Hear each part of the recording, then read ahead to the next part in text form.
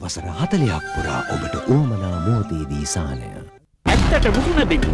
සියයට සීයක්ම ලැබෙනවා නම් සියයට තිස්තුවක් ගන්නේ ඇයි? දිනකට දෙවරක් කෝලික්ස් ගැනීමෙන් ඔබේ ආහාරවලින් ශක්තිය මුදාහැරීමට අත්‍යවශ්‍ය B විටමින් ප්‍රමාණය සියයට සීයක්ම ලැබෙනවා. කෝලික්ස් ක්‍රියාශීලී දිවියකට සහාය වන B විටමින් සියයට සීයක්ම. ඇට්ලස් අභ්‍යාසපොත් විශිෂ්ට සාමාර්ථයකට ඇට්ලස් අභ්‍යාසපොත් විශිෂ්ට සාමාර්ථයකට මේ ඔබේ ජයග්‍රහහි වේලාවයි. ජයෝදා මෙවර ජයමල් පනස්තුන් ලක්ෂය ඉක්මවයි. ඉක්මන් කරන්න ජයෝදා ඔබට උරුම ජයක්.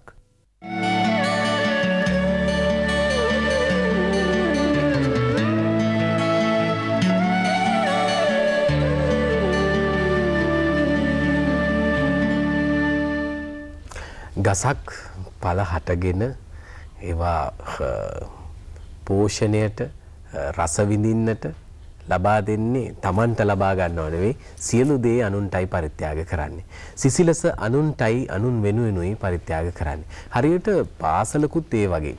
පාසලෙන් සියලු දේ දරුවන් උදෙසා පාසල ගුරු අම්මලා තාත්තලා ලබලා දීලා ආය ආපිටට අර ගසක් බලාපොරොත්තු නොවුනා වගේ ආපිටට කිසියම් දෙයක් බලාපොරොත්තු වෙන්නේ නැහැ. පාසලත් ගුරු අම්මලා තාත්තලාත්. හැබැයි ඒ සෙවනේ වැඩෙන ඒ සෙවන ආශිර්වාදයක් කරගෙන ජීවිතේ ජය ගන්න දරුවන්ගේ යුතුයකමක් වෙනවා ඒ පාසල් මව්තුරුල වෙත ආපසු හැරිල් බලන්න. අවශ්‍යතාවයක් තියෙනවා නම් ඒවාට කිසියම් අත්වැලක් වෙන්නට. දැන් වසර 125ක් පැරණි දීර්ඝ ඉතිහාසයක් තියෙන මාතලේ සාන්ත තෝමස් බාලිකාවන්ගේ 125 වන ඒ සැමරුම මේ මාසේ අග නොයසේ නම් ජූලි මාසේ මුල් සතියේ තුන්වනදා බ්‍රහස්පතින්දා යෙදෙනවායි කියලා අපට දැනගන්න ලැබුණා. විදුහල්පතිතුමිය මගින් අපට දන්වන සියලුම ආදි ශිෂ්‍යාවන්ට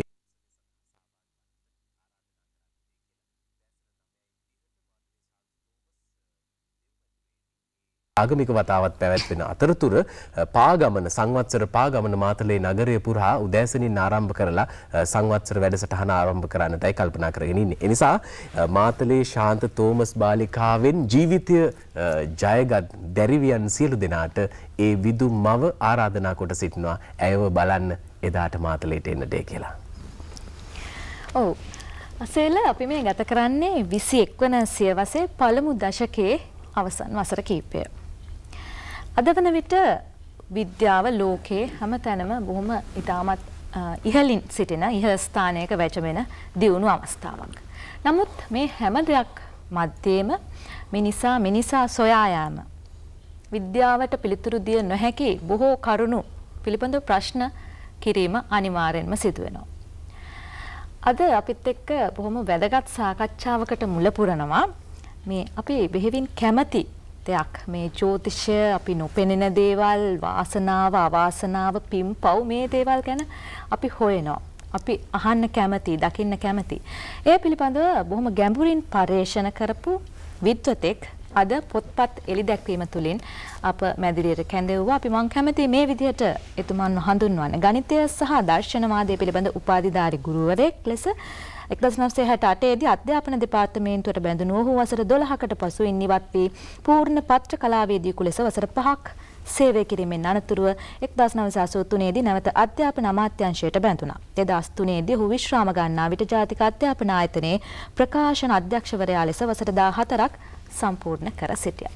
අද වන විට ඔහු පාඨකයන් වෙත බොහොම මේ අපි කියූ මාතෘකා හරහා ප්‍රවීණ නාට සුබමංගලම්. චාන්දනී බණ්ඩාර මහත්මියගෙන් රූසපුව රැකගැනීමට උපදෙස්. සොඳුරු මනාලියට ගැලපෙන සාරි විලාසිතා සහ වෛද්‍ය අතිරේකයක්ද සමගින් ඔබේ පිටපත අදම ලේක් හවුස් පුවත්පත් අලවි නියෝජිතයන්ගෙන් මිලදී ගන්න ලුකසෙවන මාසික සංග්‍රහව ජාතික රූපවාහිනියේ ප්‍රකාශනයක් සුමති සම්මානද 2008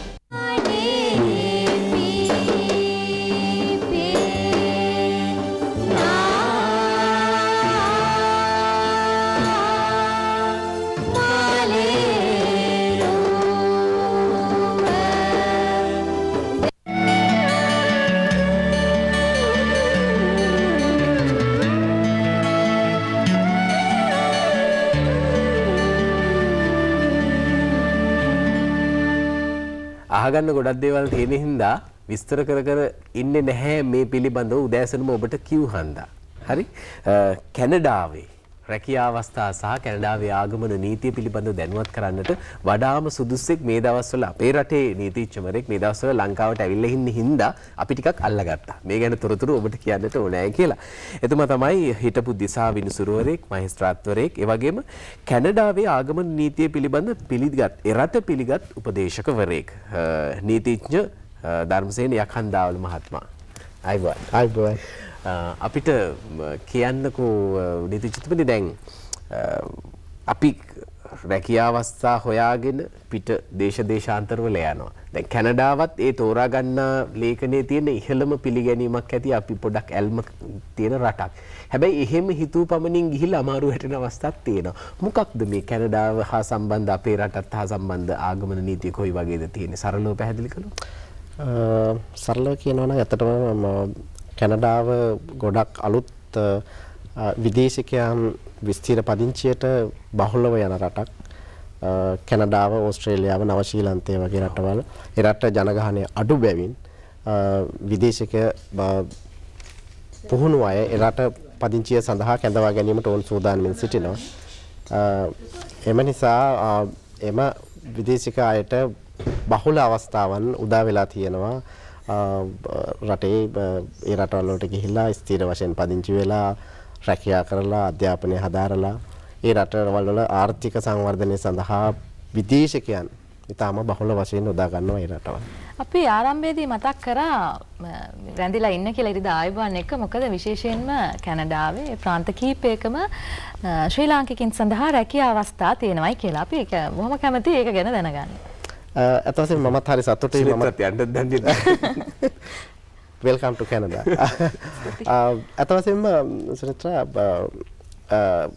කැනඩාවේ රජය බ්‍රිටිස් කොලොම්බියා කියන ප්‍රාන්තයත් ඒ වගේම ඇල්බර්ට් කියන ප්‍රාන්තයත් ඒ ප්‍රාන්ත දෙකේ ආර්ථිකය ඉතා වේගයෙන් දියුණු වෙමින් පවතින මේ දවස්වල.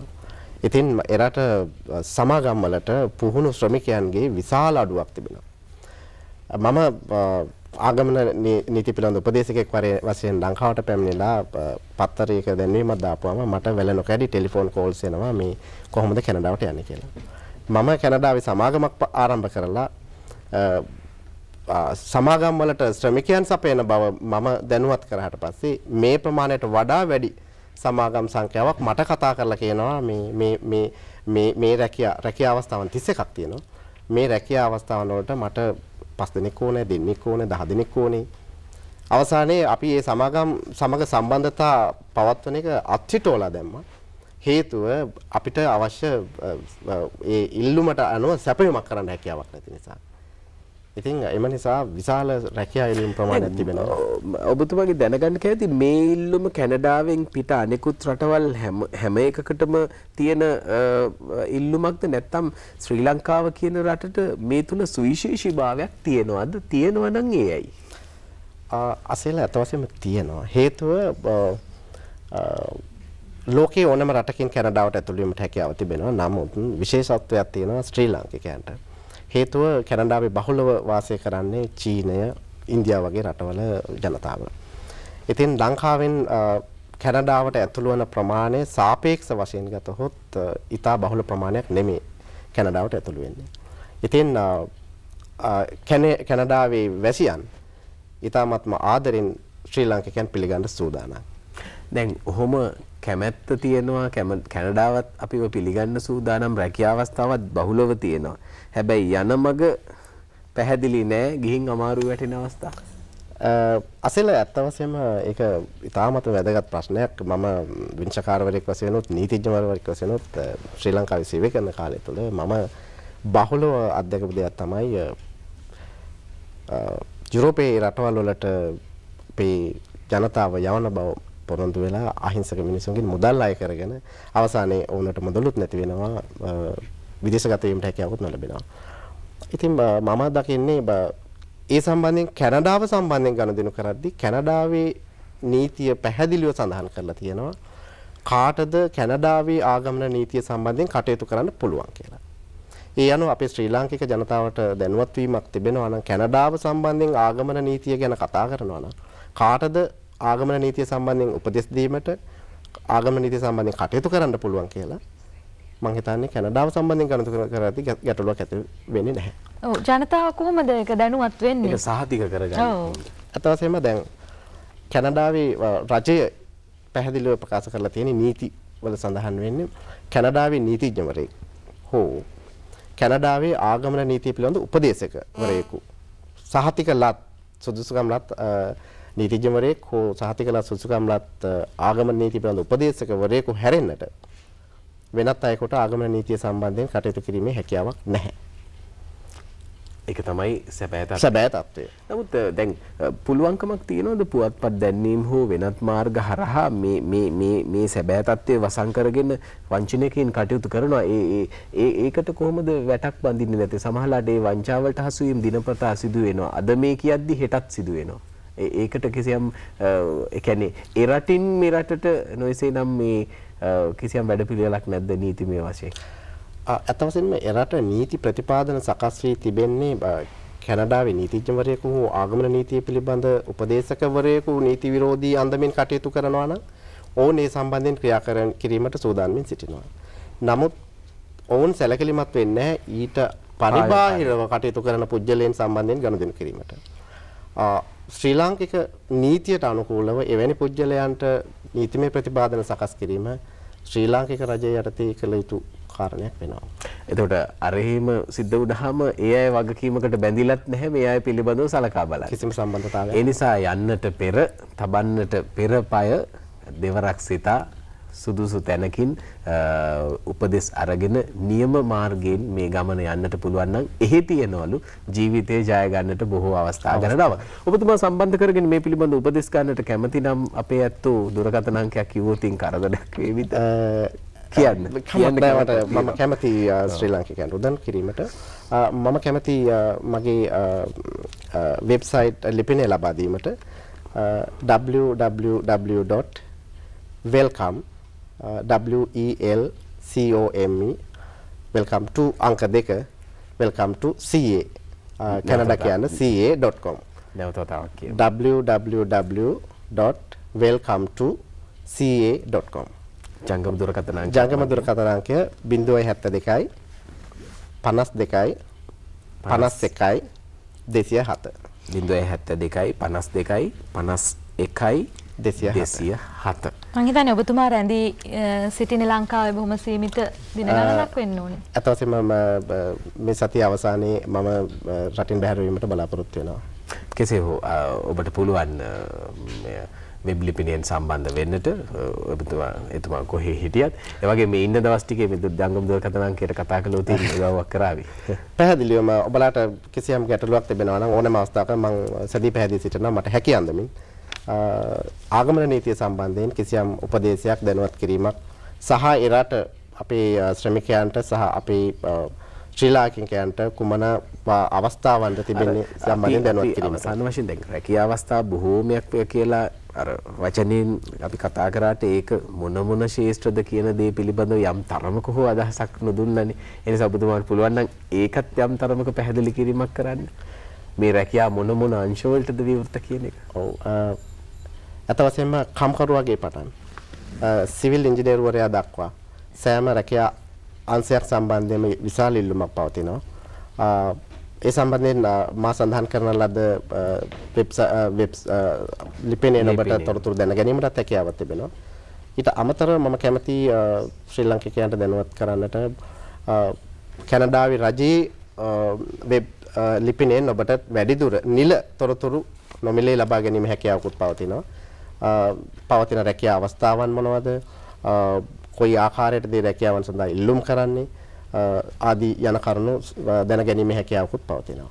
ඔව් මම හිතන්නේ මේ වෙනකොට තිරේ ඔබට දිස් වෙනවා මෙතුමාගේ වෙබ් ලිපිනය. ඒ වගේම කැනඩා රජයේ වෙබ් ලිපිනයත් ඔබතුමාට කියන්න පුළුවන් නම් ඒකත් මේ අයට අත්කලක් වේවි. www.hsrdc hsrdc.gc.ca නැවත www.hsrdc.gc.ca gc.ca හොඳයි. අපි බෙවින් ස්තුතිවන්ත වෙනවා එහෙමනම් ඔබතුමාට. අද දවසේ මේ පිළිබඳ මේ ඇවිල්ලා ඉන්න කෙටි විවේකයේ තුල මේ වටිනා කතා බහ අපේ අයගේ ආරක්ෂාව වෙනුවෙන් යන්නට පෙර ඒ සදා සුරක්ෂිතභාවයකින් යුතුව Tamanගේ අර අරමුණු ඉටු කරගන්නට